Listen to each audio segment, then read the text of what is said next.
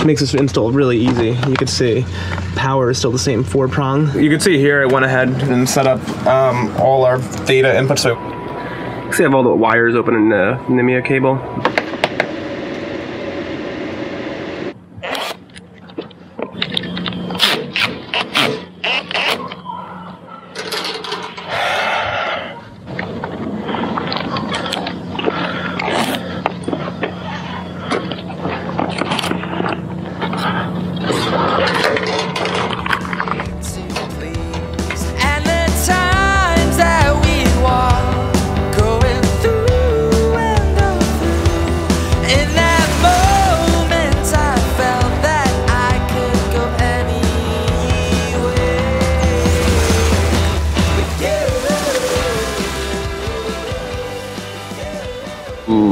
Chart plotter. I'm gonna go compare this to the upstairs one to see how easily it's gonna fit. Knowing a boat project, probably not very. This is a new 7-inch Zeus 3. Our old one, the touchscreen, is like completely broken. So it powers up and it displays, but all the touch functions don't work. You can see nothing nothing beeps, but I can navigate quite a bit with the controls. It makes it very difficult to engage the radar, to click on AIS targets, to zoom in. Um, our other one's 7 inches, so hopefully they fit in the nav pod well. Um, the inputs should be the same. The power plug is the same. Uh, the NMEA 2000 will be the same.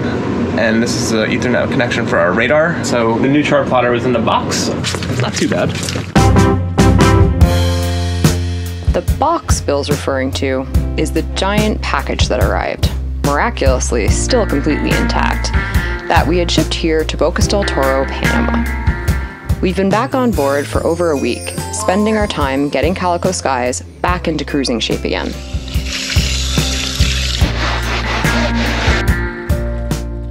Now that she's wasp free, it's time to get to work on some projects. So yeah, that box just came in. That uh, that generated some work for me today, but um, it's a good thing. This is a new 7-inch Zeus 3. Um, our old chart plotter functions, but the touch display is not working. Um, so we can navigate quite a bit of it with the buttons, but not everything. So we're moving it down below. Um, in order for a chart plotter to be useful though, it needs data. So I'm gonna be running connections today that give it the necessary data.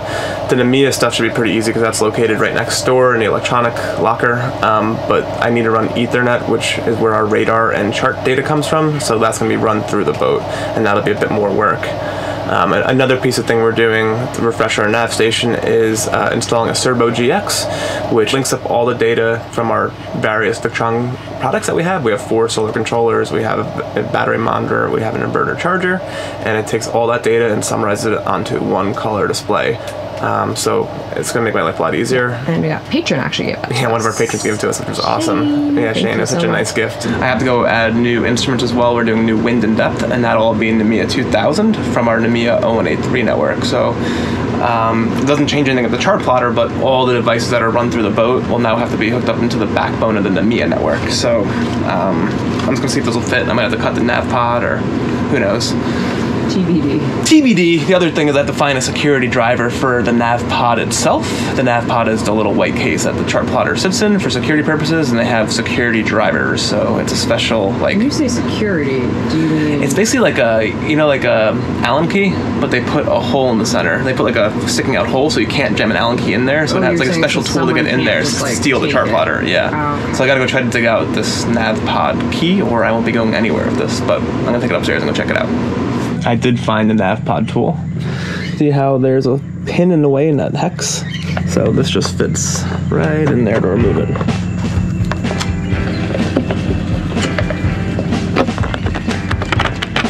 Pretty big screws.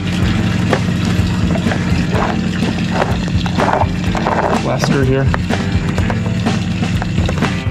Okay, so I have the old one off. It's like 5200 in or something. The power cables, which makes this install really easy. You can see power is still the same four prong. Uh, the Ethernet's the same. Yellow, yellow. And the NMEA 2000 is obviously the same as the NMEA 2000. So the actual install, like minus the nav pod, shouldn't be that bad because all the cables already run to the helm, which is huge.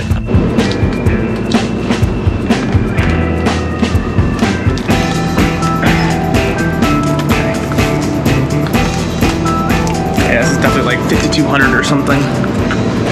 Oh, held up for 30,000 miles, so this was not installed by me, is why I keep referring to someone else. We actually had this installed while we were working, Grace and I, different time, back in the hedge fund days when I had to work weekends and basically all the time, so. Hey, it fits, what do you know? Hey, that's pretty good. Winning. this, uh, that's so rare that they cut the hole too big for this one. So that's actually kind of nice for me.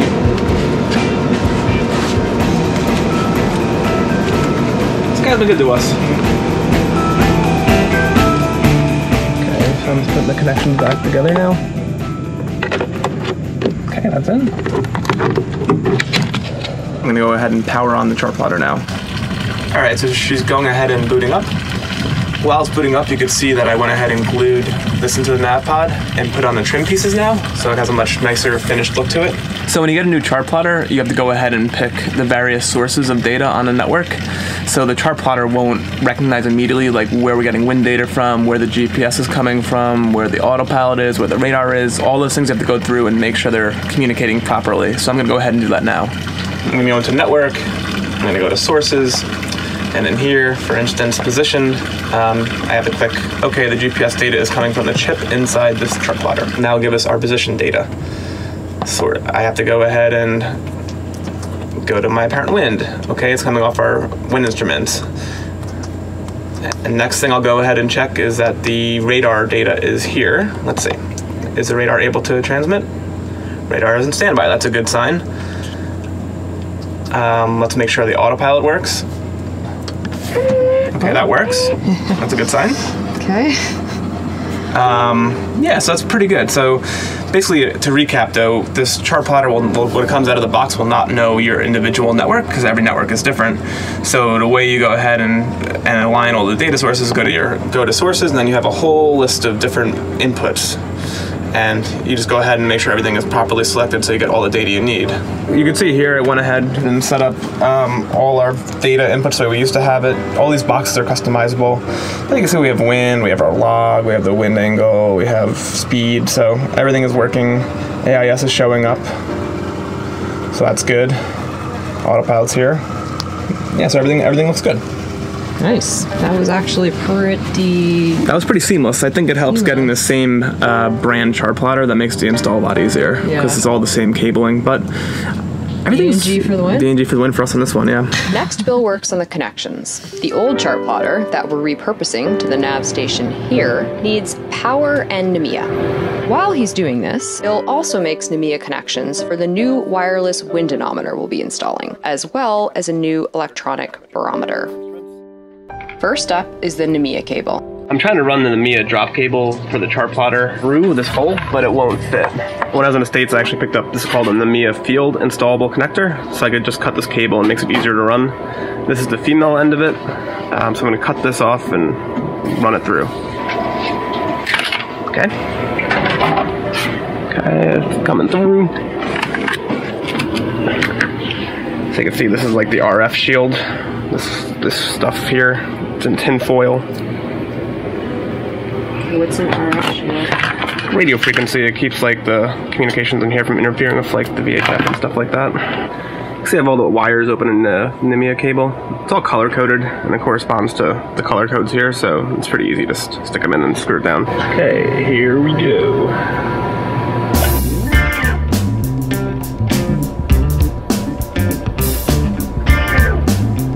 Oh, I'm starting to get this power cable crimped together. The red and yellow go together. The blue is for an external alarm. So I actually bought some of these in the States too. I'm gonna wire this in. I'm thinking when we're offshore, it might just be good to have an audible alarm down here beeping as well as outside, just if, in case we're snoozing or something. I feel like it's good to have a really noticeable collision alarm. So this will provide power, and here's a little alarm going to here.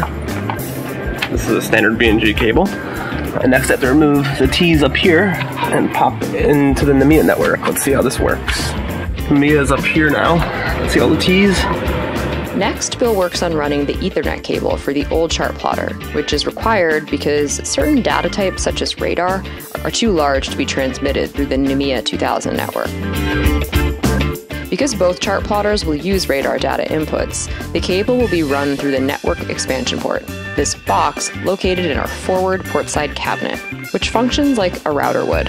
Well, what we're doing today is we're running a second Ethernet cable to the chart plotter down here, so it can have radar data. So the cable runs from here. I ran it down through here, through this locker, uh, across the top of the bilge on the stringers, uh, through came through this locker here, and now we're over here.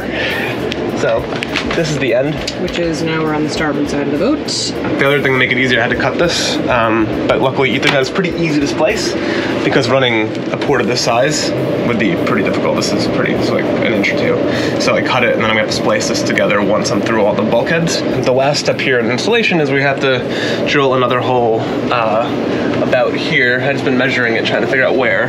Um, about here to pass this wire through to the box back there where the rest of the electronics are, and then I'll go ahead and splice this cable back, and then we should have radar data to that chart plotter as well, which will be nice on passage. Considered a couple different options for where to uh, put this thing. We're gonna drill it there, so the other side is inside the nav nav table. It's gonna come out like there. I actually got pretty lucky. I mean, this is how much cable's left, so How many feet is that? I think I got a 25 foot section.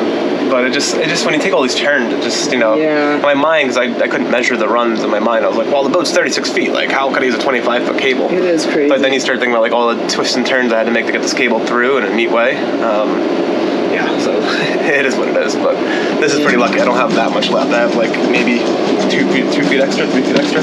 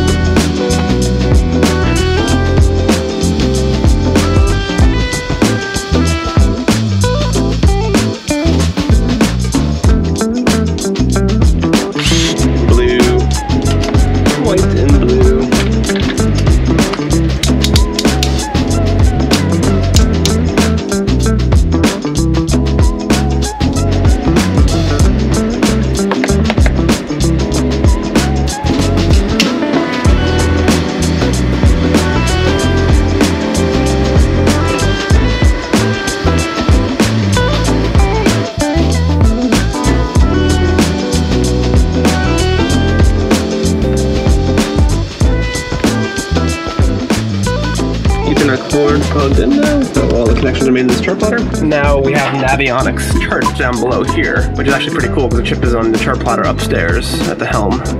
Um, and now radar is also available on this display as well. So, you know, one radar is available on two screens. It's pretty sweet. Oh, and also, that alarm I wired, it's pretty loud. You want to hear it?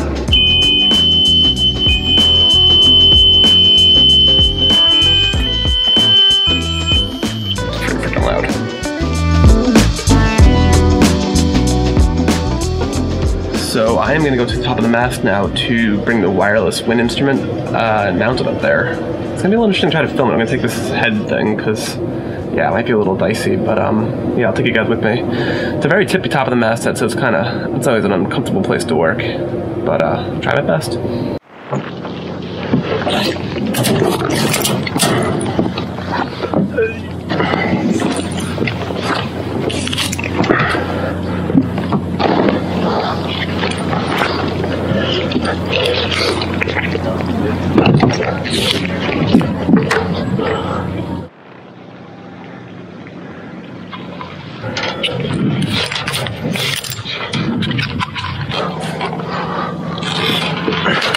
The first step is to remove the old wind anemometer, which includes the mounting bracket.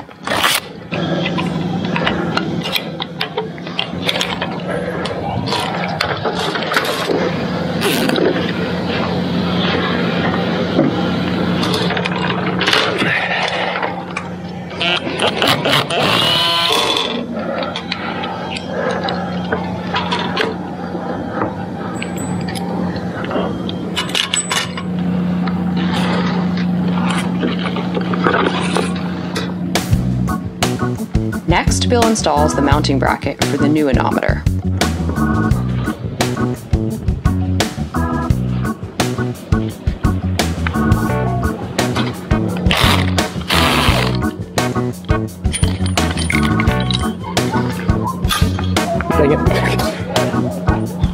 Unfortunately, he's dropped a drill bit, but he's come prepared with a backup, so it's all good.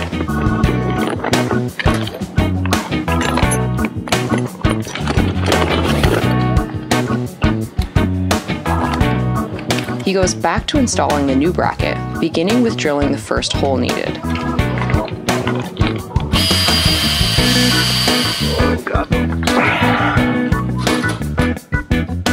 Then he changes the bit so he can drive a screw into the mount before repeating the same process for the second, third, and fourth holes and screws.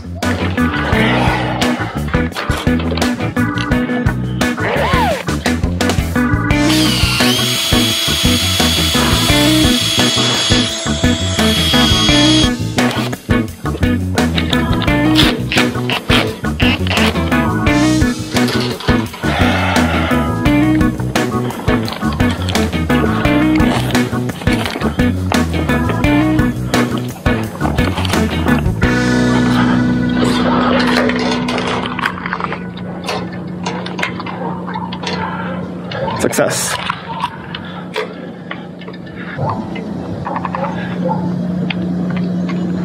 All right, well, mission accomplished. And I only dropped one bit in the water.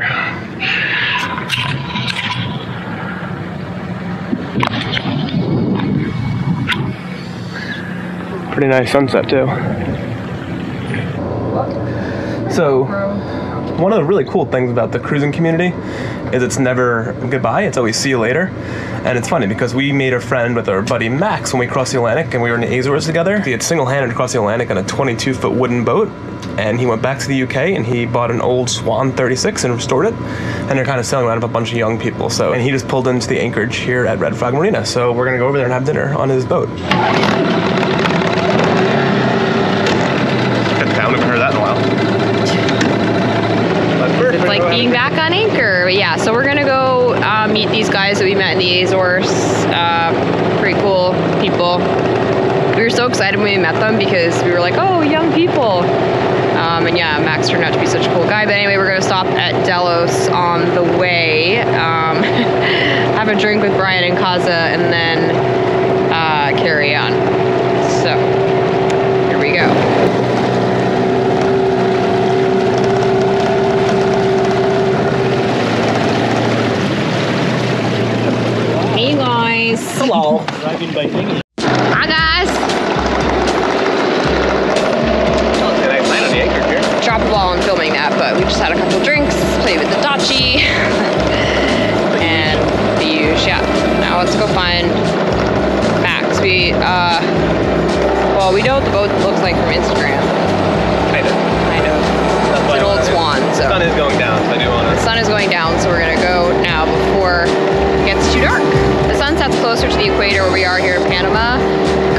quickly compared to um, the east coast of the U.S. So still adjusting to that actually. try. Like the paddleboard through here. I went through here before, I think.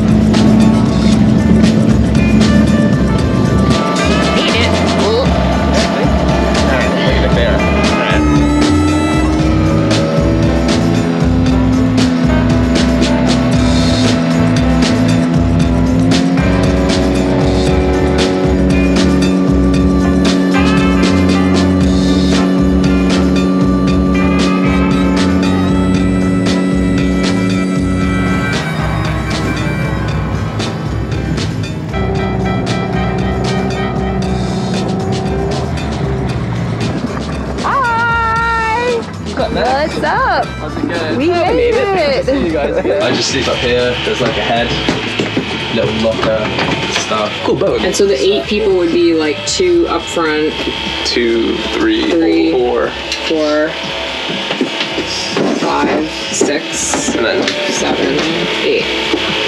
That'd. But you guys do the whole filming thing or not really? Like, Yeah. so you're, you're just having cameras put in your face. We met. Hi. We met. Uh, we met on TikTok. Oh, good. I tried to do some filming, but it's like it's always really bad, wonky filming. Like I've never done it. As a, it doesn't earn me money, so. Yeah, right. Just gotta see your burrito making over here. It's like professional. One burner, you know. That's one thing I've never mastered Probably a wrapping a setting. burrito Probably, properly. there's, Oh, It's not an easy thing to do. And also, we're like, this is a cool story because we met, you know, we met you five years ago. And now we're crazy YouTubers. yeah, I don't mind. Oh, wait, as, You know, you're as doing in- like up here. Nice. They're intense. I've never seen.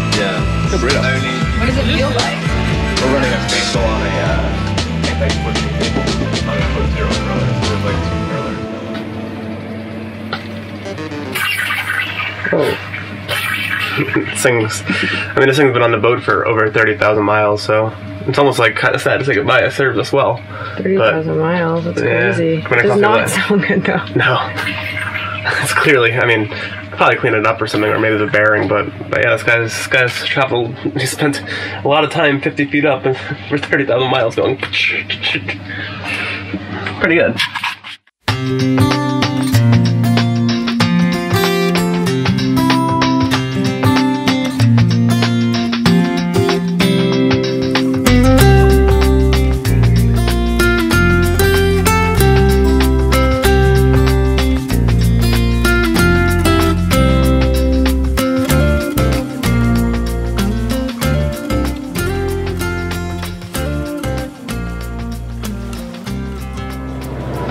I'm working on uh, installing the Cerbo GX.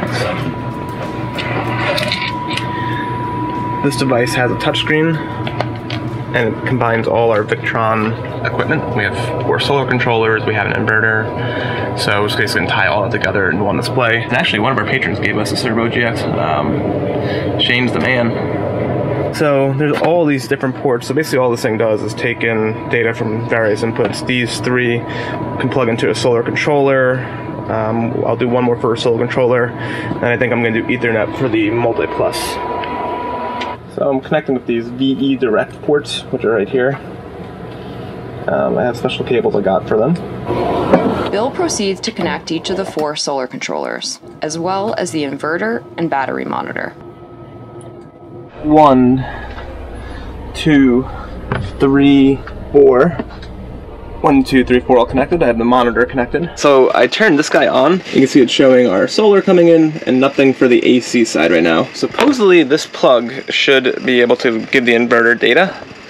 So I'm gonna go ahead and shut this hard wire, shut this off. Click. We're gonna go ahead and click this one in. Okay. Close the inverter panel up. So you can see we finally got the uh, inverter data coming in through the Cerbo GX now. So it's a pretty cool display. It just has a little bit of everything that's going on with our battery bank, like what the solar panels are doing, all four combined, what our shoreside dock power is doing, what kind of loads we're drawing from the boat, and how much the battery is giving. Pretty snazzy. You could also see that I went ahead and mounted the chart plotter. So this is what our new nav desk looks like. It's kind of cool for an old boat. Hmm. I, I like it. I'm excited. Like we have a lot of cool color screens, and the really nice thing is now the autopilot is hardwired down here, which we never had before because it was locked out. So I could see I could, I could adjust the autopilot from here, and that's that's nice. Yeah, because we couldn't do that from the. That was the big difference with the, the iPad. Yeah, they on the iPad they lock out that function on you. Um, so and also now we have two controllers. If something happened to it, in one of the chart plotters, we have double ways to activate the autopilot, which is important. So I'm pretty pumped the way this all turned out. So this is our new nav desk. Let us know in the comments what you think of it or what else you would have added. Thanks for watching, and we'll see you next week.